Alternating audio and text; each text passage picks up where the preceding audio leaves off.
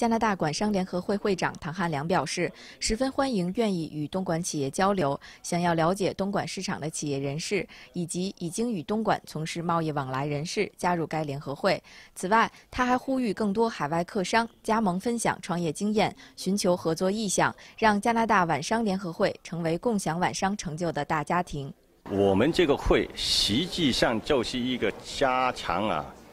中加中之间的那个经济、贸易、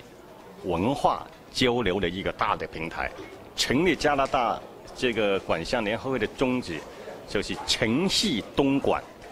相通天下。加拿大晚商联合会秘书长李炳钊介绍，中国东莞市世界管商联合会、东莞市工商业联合会、东莞市委统战部。东莞市归国华侨联合会等部门将组织代表团，专程从中国来温哥华参与盛会，并颁发任命牌匾、授会章和会旗。大会成立之后，一系列的活动我们会陆续的安排，主要的是吸引一些东莞的商人来这边投资。